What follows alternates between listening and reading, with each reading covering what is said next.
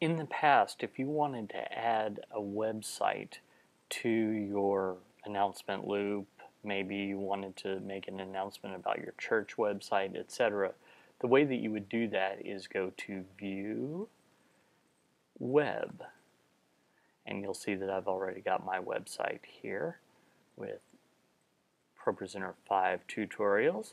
Now, in order to show that, I would have to click over here on Show, and then that would supersede this, although you wouldn't see it here. So that has remained the same.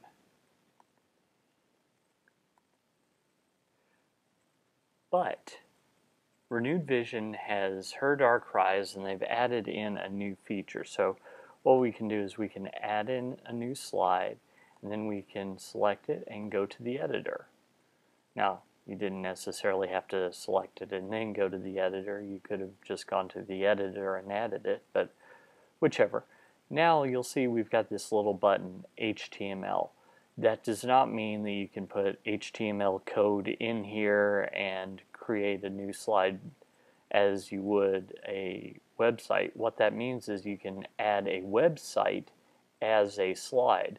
So if you wanted to make an announcement saying that your church had uh, just changed your website, you would select this gear icon right over here select the text as I've already done and put in your uh, church website. So in this case, I'm going to add uh, learnpropresenterfast.com.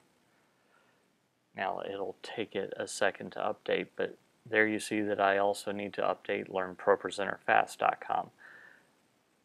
But this means I don't have to go into um, Photoshop to create this or anything like this. I can just do it here in ProPresenter. Now I could put in the URL here. Uh, check out my new training at Learn Pro Presenter fast.com. And I can move this up a bit. And this is live, so as I change that on the site, I can have it change here. So this would be apparent, really good for people that are doing presentations. I can go in here and I can have it continuously render or refresh every 10 seconds or 60 seconds. Let's say I change it every 60 seconds. In this case it's not going to affect this, but if I had like a looping slide, every time you showed this it would be a little bit different.